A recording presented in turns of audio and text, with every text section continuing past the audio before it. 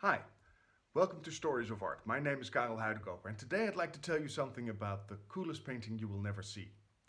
It's a painting by Rembrandt that is today called Christ in the Storm on the Sea of Galilee. And strangely enough, I'm actually showing it to you, but you'll never see it. That is not for real. And at the end of this video, I'll tell you, tell you exactly why that is. It is nowadays called Christ in the Storm on the Sea of Galilee.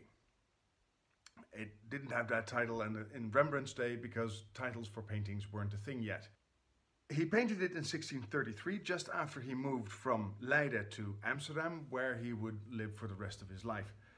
And he was a very popular painter at the time. He, um, he painted mostly portraits, but also these history pieces. And history painting, um, it's a painting that, that describes a story, a story from either the Bible or mythology, um, and sometimes from, from recent history. This is one of those history paintings. It tells a story, and as you could hear from the title, it's a biblical one. It is the only seascape Rembrandt ever painted, as far as we know. And um, we can see that he was not very knowledgeable about ships. We'll get to that later. It shows us a, a story from the Gospels. It's mentioned in, um, in Matthew, Mark, and Luke. And I'll read to you the, the section of, where you can read it in, in Mark, which is chapter 4, verses 35 and 41. That day, when evening came, he said to his disciples, let us go over to the other side. Leaving the crowd behind, they took him along just as he was in the boat. There were also other boats with him. A furious squall came up, and the waves broke over the boat so that it was nearly swamped. Jesus was in the stern, sleeping on a cushion. The disciples woke him and said to him, Teacher, don't you care if we drown? He got up rebuked the wind and said to the waves, Quiet, be still. Then the wind died, uh, the wind died down, and it was completely calm. He said to his disciples, Why are you so afraid? Do you still have no faith? They were terrified and asked each other, Who is this? Even the wind and the waves obey him. Well, it's pretty clear that this is the story that, that Rembrandt painted here. But it's a, a story you rarely see in paintings. It's quite unpopular for painters to, to show you this story. And for good reasons. Um, it's very, very difficult to do. Uh, the thing is, there are two different parts to this story that compete with each other if you want to show it in a painting. On the one hand, you have the big one, which is the storm. Um, you can show a storm and it's a big thing and an impressive thing. On the other hand, there's the, the personal, direct story between the disciples and Jesus. I'll show you in, in two examples. Um, this is a, uh, a painting by John Martin. Christ Stilleth the Tempest, it's called, uh, from 1852, so it's quite a bit later than the Rembrandt. And here you can see the big storm there's a huge storm. You see the waves and the boat is, is clearly in trouble. And that's an impressive thing to see. So the miracle of calming that just by a word becomes an impressive miracle. Now you can also approach the story from the other side, uh, which is the human inter interaction. Because in this painting by John Martin, you can barely see humans on the ship. Now, in this different one, we see the scene from much closer up. And here we see the disciples, we see Jesus mainly calming the sea and his disciples being duly impressed. What we don't see is the storm. There's some waves, but really is that so much to be worried about? So the miracle of the sea, the, the, the storm itself, we don't see it and we're not that much impressed by it we only see the interaction, we see the reactions of the, of the disciples. Now, Rembrandt could tell both sides of that one story in one painting. And that's why it's such a brilliant painting. And that's why Rembrandt is such a brilliant painter. Because just through the way he composed his picture, he could bring all of it together in one. See, we see this painting, in this painting, we see the, the ship, the boat, being pushed up by a, by a freak wave. And it's, it's tilted and we can see at the front that uh, people are trying to hold on for dear life. Um, that's, that's on the mast, you can see someone just holding on.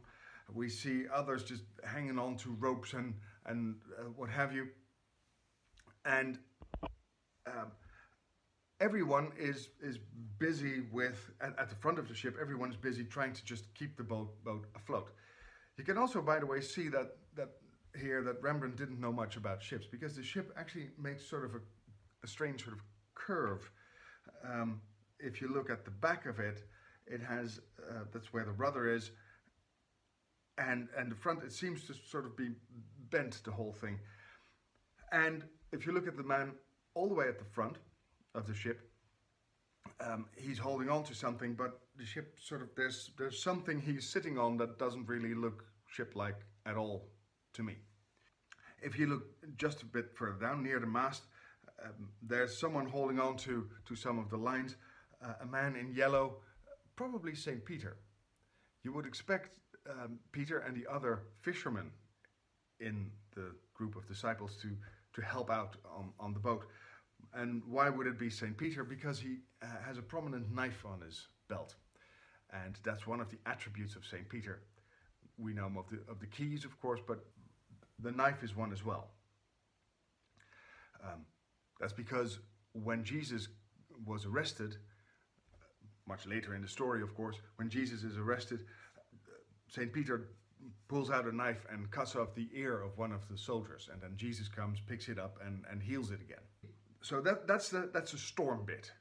Um, but already the light, the calming of the sea has started because you can see the light coming in from the left, shining on the ship, and a much darker and much more intimate scene behind the sails where only a few points of light come through and they show us the intimate tiny scene. And there, if we, um, if we zoom into it, we can see Jesus sleeping on a cushion, as it is said in the Bible. They wake him up and, um, and tell him they're drowning, they're afraid to drown, as, as they do in the story. And he's already rebuking them at the moment that he wakes up. You can see his face lights up. That shows us that he is Jesus. And um, already is calm. We can also see in that very little part of the painting that also there the storm is still being felt because someone is throwing up over the side, just on the lower side here. By the way, the man holding on to the line and holding on to his hat is a self-portrait of Rembrandt. He, he used to incorporate these in, in all these history paintings that he made. Oddly, by the way, that the Sea of Galilee is called the Sea of Galilee and not the Lake of Galilee because it's, it's a lake. A fairly big one, but still a lake. Um, but that's simply the name it got over time. Now, that's the brilliant part of what Rembrandt did. He could push the entire story, everything of the story, he could uh, simply get into one picture where he would, you can see both the storm and the intimate scene at once. Now that is a great painting. Now the reason you'll never see it. Um, in, um, it was owned by the um, Elizabeth Stewart Gardner Museum in Boston. But in, um, in 1990, on the 18th of March, it was, it was stolen.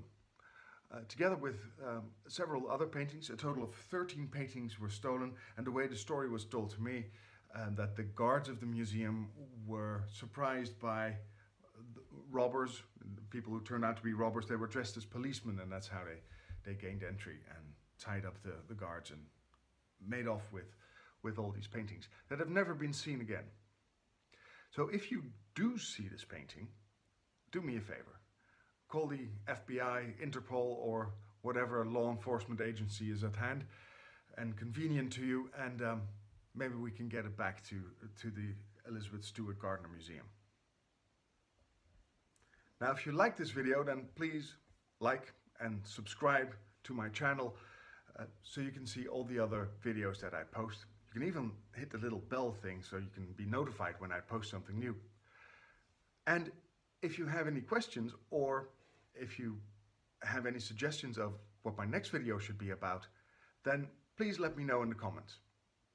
In any case, thank you very much for listening and see you again soon. Bye.